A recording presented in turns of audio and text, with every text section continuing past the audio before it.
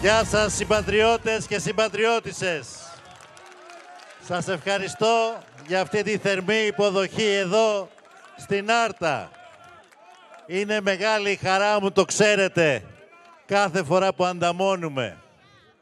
Και βλέπω το πάθος και την αποφασιστικότητα στο πρόσωπό σας.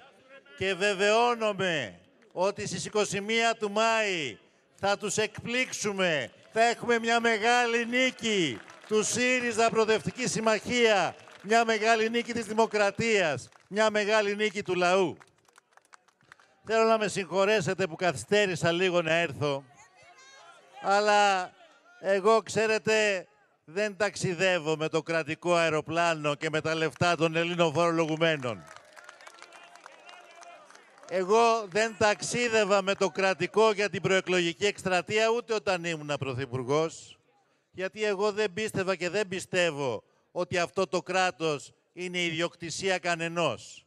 Άλλοι έχουν γεννηθεί πρίγκιπες και έχουν την αίσθηση ότι το κράτος και η χώρα τους ανήκει. Εγώ κατάγομαι από ένα ταπεινό ορεινό χωριό στα Τζουμέρκα, αλλά είμαι περήφανος για την καταγωγή μου. Μπορεί να μην είμαι από τζάκι, αλλά είχαμε τζάκι στο πατρικό σπίτι και τα ανάβαμε και ξέρω πώς ανάβουν τα τζάκια. Είμαι λοιπόν ξανά μαζί σας.